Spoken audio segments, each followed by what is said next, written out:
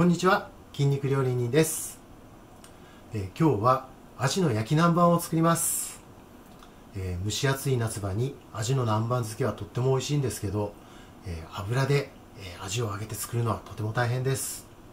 ですので今日は、え油で揚げずに作ります、えアのですね、えフライ用で売っているフィレですね。あのさばいてある味を使ってフライパンで焼いて作ります。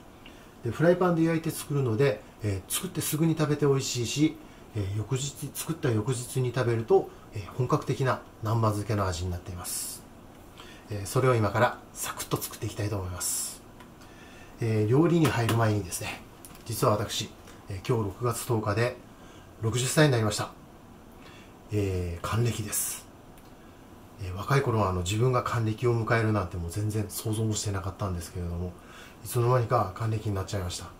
もうやってることはあの若い頃と全然変わらないんですけれどもまあ一応あの、え還暦になったっていうところで、えエプロンを赤にしてみました、えだからといって何が変わるっていうわけじゃないんですけどこれからも、え筋トレですね。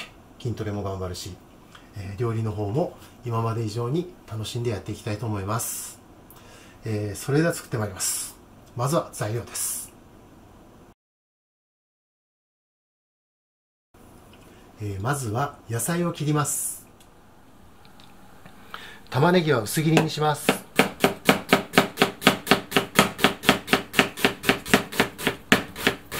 4分の1個です。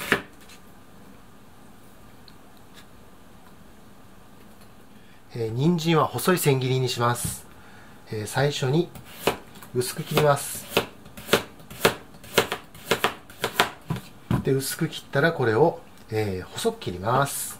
えー、人参はですね、これ千切りにしますので、皮を剥く必要はありません。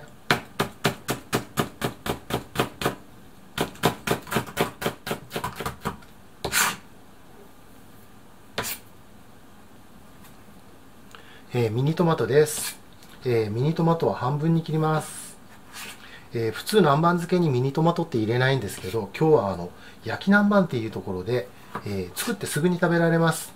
ですので、まあ、彩りと爽やかさを入れるっていう意味で、えー、今日は入れています。そしてオクラです。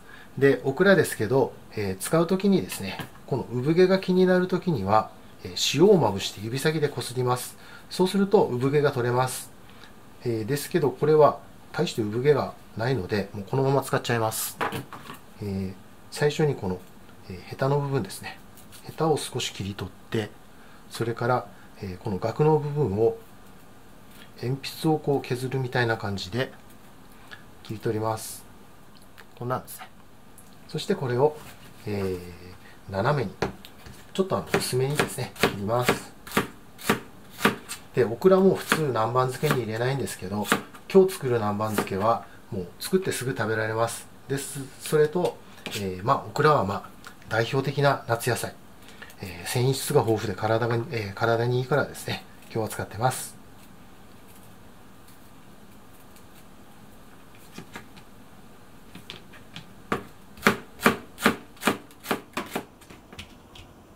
次は味の下処理をします。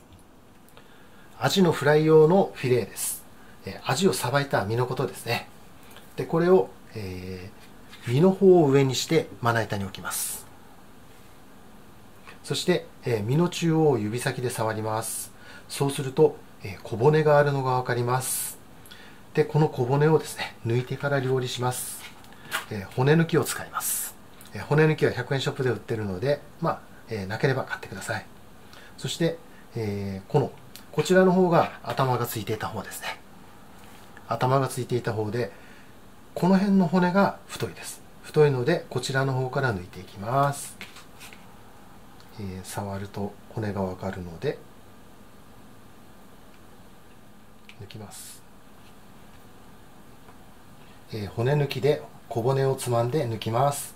そして抜く時にはですね、えー、斜め上に、え頭がついていた方に斜め上に抜くと、え身を傷めにくいです、え小骨は斜めに入っています。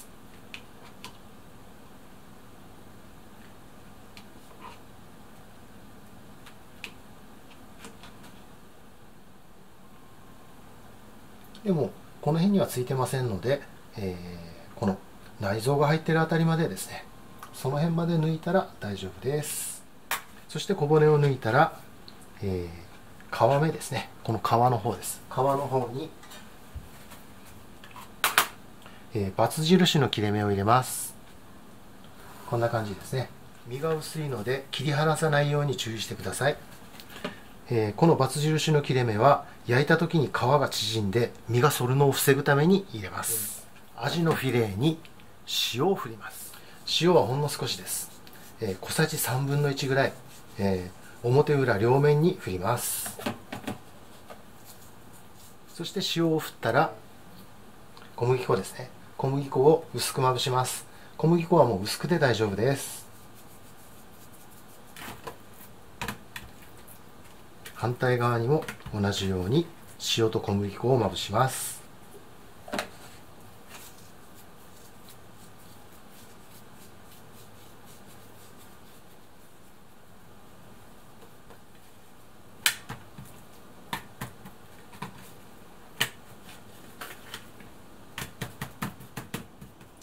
味の下処理が終わったらフライパンで焼いていきます。その前に南蛮酢を混ぜ合わせておきます。酢です。薄口醤油。えなければ濃い口でも構いません。みりんです。水です。砂糖です、えー、かつおだしの素ですね。これを混ぜておきます、準備ができたのでフライパンで焼いていきます。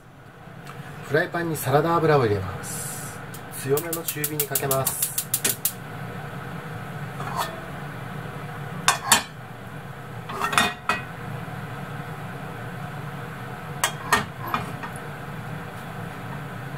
えー、サラダ油がサラサラになったら、えー、アジの皮ですね。皮を下にして入れます。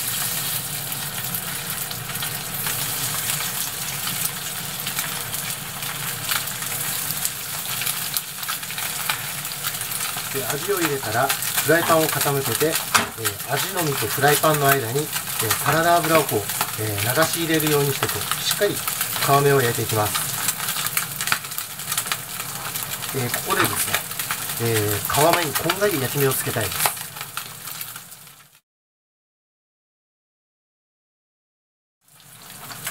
焼け具合を確認してみます。あいい感じで焼き目がついてます。え、いい感じで焼き目がついてますけどもう少しパリッとさせます。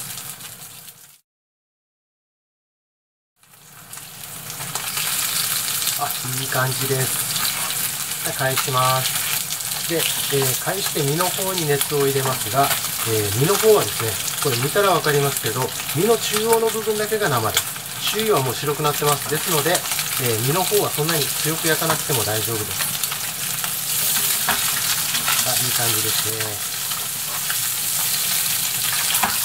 えー、身の方にも、えー、焼き目がついたら、えー、味を皿に盛っておきます。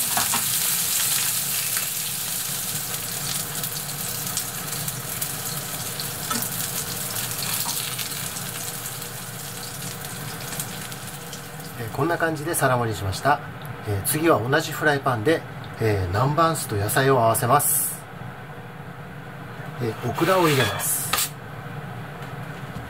そして中火にかけます。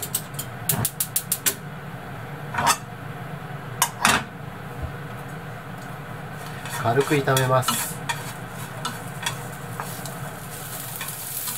えー、軽く炒めたら、えー、混ぜ合わせた南蛮酢ですね。南蛮酢の材料を入れます。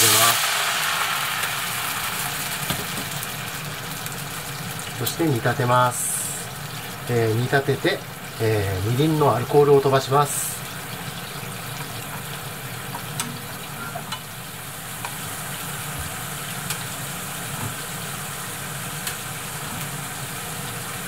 えー、煮立てたら、えー、玉ねぎと人参とミニトマトですね。これを入れます。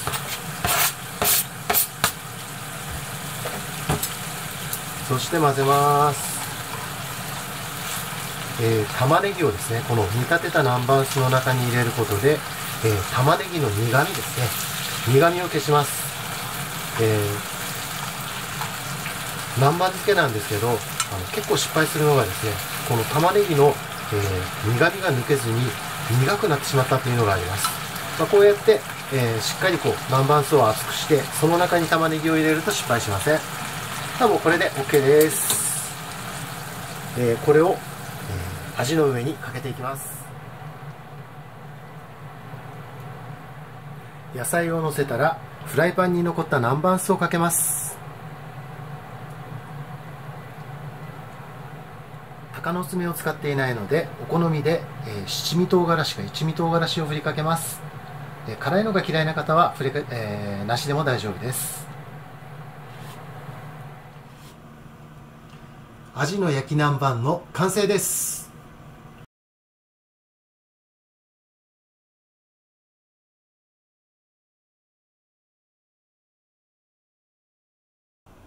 完成したので試食してみます、えー、まずこのアジのフィレを使って、えー、そしてそれをあのフライパンで焼いているので、えー、皮目はカリッと。そして身の方はふっくら柔らかくて、え箸でですね箸で身をこうスパッとこうきれいに切れます。そして、えー、味の身の上に、えー、玉ねぎオクラ人参ですね。これをのせていただきます。いただきます。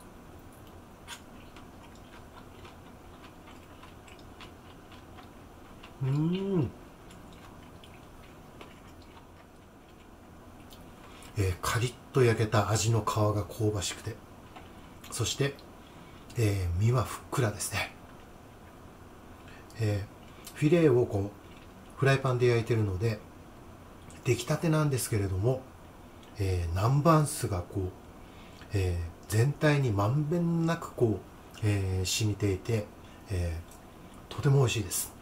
出来たてなのに美味しい。味の焼き南蛮は、えー、味のフィレですね。味のフィレをフライパンで焼いて作ります。フィレを焼いて作るので南蛮酢が絡みやすく出来たてからとても美味しいです、えー、とてもお手軽に作れます。そして、えー、作った翌日ですね。翌日まで冷蔵しておけば、えー、味の身の中心まで、えしっかり南蛮酢が入って、え保存に向く料理にもなります。えー、味の焼き南蛮簡単で美味しいです。ぜひお試しください。